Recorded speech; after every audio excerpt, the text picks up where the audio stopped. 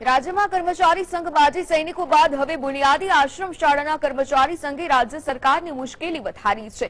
બુનિયાદી આશ્રમ શાળા કર્મચારી સંઘની પડતર અઢાર જેટલી માંગોને લઈને તેઓએ રાજ્ય સરકાર સામે વાયુ ચડાવી છે. બારડોલી ખાતે બુનિયાદી આશ્રમ શાળાના કર્મચારીઓને જિલ્લા પંચાયતની પદ્ધતિ અનુસાર આશ્રમ શાળાના કર્મચારીઓને ગ્રેડ પે આપવામાં આવે તેવી માંગ કરી છે.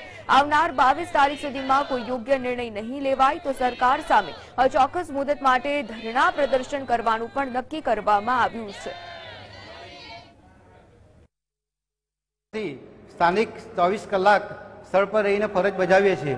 અમને ઘણા લાભોથી વંચિત રાખવામાં આવ્યા છે કે જેવા કે ગૃહપતિ ગૃહમાતા એલાઉન્સ ગૃહપતિ આપતા નથી કે ગૃહપતિ એલાઉન્સ એક મહિનાના અમને ત્રીસ રૂપિયા આપવામાં આવે છે. અમારી મશ્કરી કરવામાં આવે છે.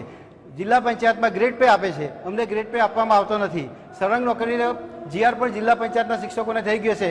જ્યારે આશ્રમ સાથે કર્મચારીને આપવામાં આવતા નથી.